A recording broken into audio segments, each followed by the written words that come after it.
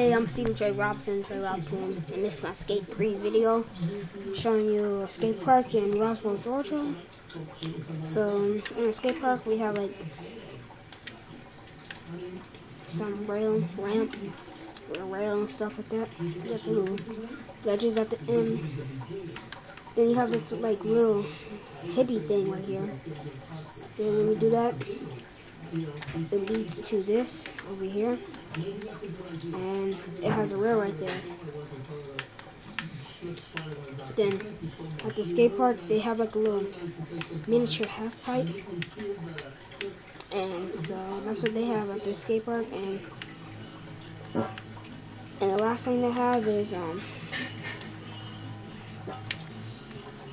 some like little ledge.